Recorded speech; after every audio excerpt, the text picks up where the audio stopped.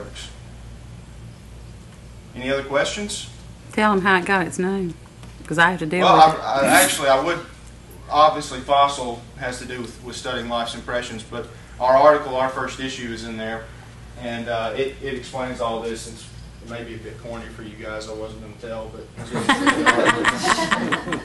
uh, the fossil, it does, I think it just sounds pretty cool to be honest, but uh, fossil HD, HD could stand for high definition video if you wanted to. That's not what it stands for for me. The, the dog on the top here is my, my hound dog. So, so uh, he's he's on our logo, and that's why it's Fossil HD. Kind of a funny little story there. It's pretty cool. Rob, you just, you. you just had a guest wander in here from Hey! out of town too, from That's originally one of our advertisers, actually. He's already on there. Mr. Ron Mosley. Yeah. Thank you for coming. We appreciate Sure. it. Okay. Any more questions? Anything at all? Are you gonna create more jobs or? We hope so, uh, and that's that's going to come along. It's just it's a it's a business, and that's the process. But we've already started that. I mean, like I said, we've got riders I think she's talking about local all ones. around.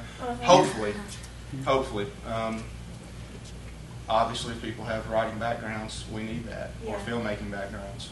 Okay. Uh, and I'm not a computer engineer, so we're going to have to.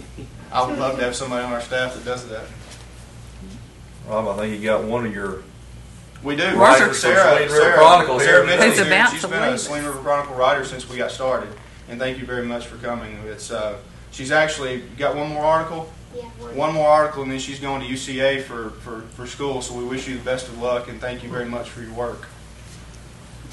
Well, you got Miss Christie who sends us things. Too. We do. We've got it. I'm seeing faces, and every, everybody here's had some some relationship to Saline River Chronicle mm-hmm. and advertisers.